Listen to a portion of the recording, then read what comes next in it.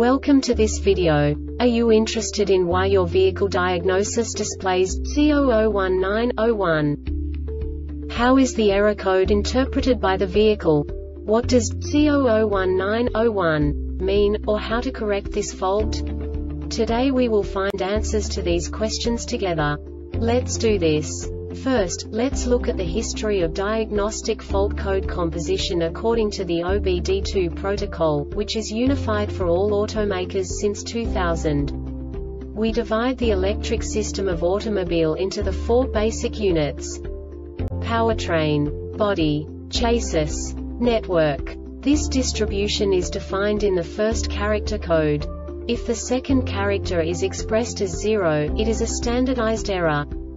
In the case of numbers 1, 2, 3 it is a more prestigious expression of the car-specific error. The third character specifies a subset of errors. The distribution shown is valid only for the standardized DTC code. Only the last two characters define the specific fault of the group. The add-on to the error code serves to specify the status in more detail. For example, a short to the ground.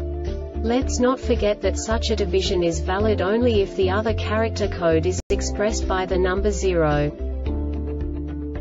Our website airbagreset.sk produces useful videos for you.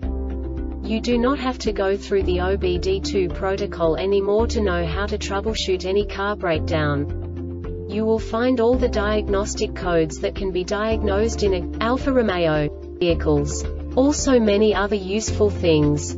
The following demonstration will help you look into the world of software for car control units. You unbelievably can move the video a bit further.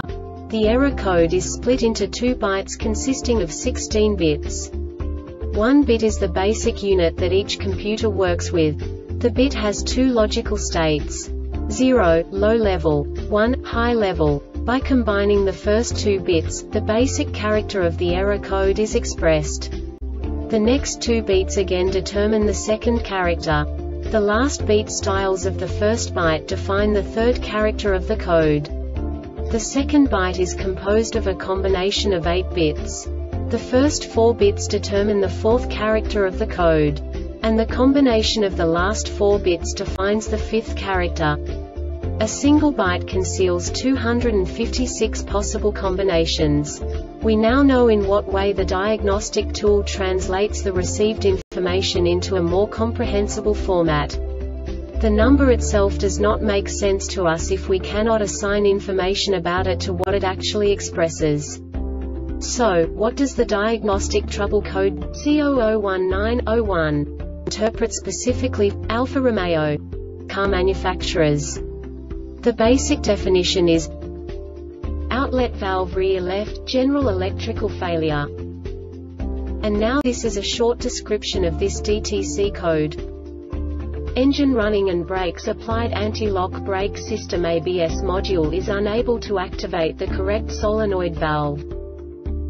This diagnostic error occurs most often in these cases.